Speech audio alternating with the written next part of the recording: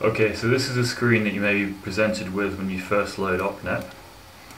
Now the first thing that I want to show you is the tutorials in OpNet. If you go to Open, you will have some standard tutorials that OpNet has in it. Now some of these files that you see here, for example, are files that I run and they exist in my op underscore models directory. But OpNet has developed some tutorials, and let's have a look at one of them now. Um, for example, we're going to have a look at the tutorial on OSPF. We click OK. That will take us to the uh, first screen for the tutorial. Now the first screen is always some background about the protocol that is being overviewed by OpNet. And in order to have a look at that, we can double click on this book here. And that takes us to some text.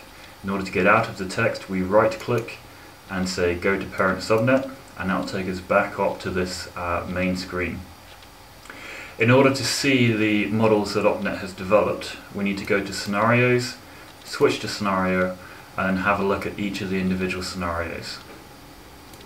So here is one of the scenarios that OpNet has developed, and as we look down we can see some more, and each one happens to contain a little uh, tutorial read me, which gives some background on what OpNet is trying to do here.